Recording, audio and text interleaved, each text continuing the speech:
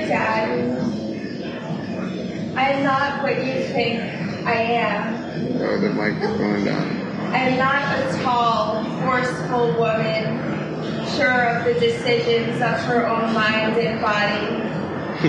I am a girl taken advantage of by the world in which I live. I am a victim of a complication of the brain, not the complication that is victimizing you.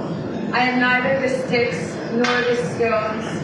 I am the bones that you found on the ground because names and images can hurt me. I am not the cargo ship. I am the package that was enclosed, stabbed, and shipped away.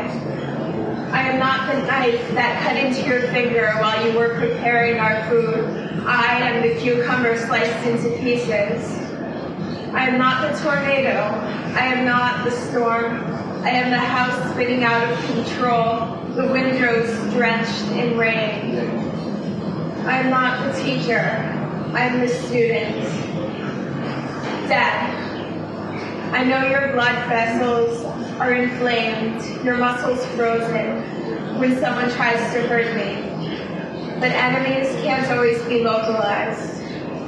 You once pushed me on the swings, but now I have to make it to the top on my own. You have to guide me with the gentle warmth of your fingers wrapped around mine, not the forcefulness of your palms against my shoulders. Dear Dad, please continue to learn how to love me. I love you.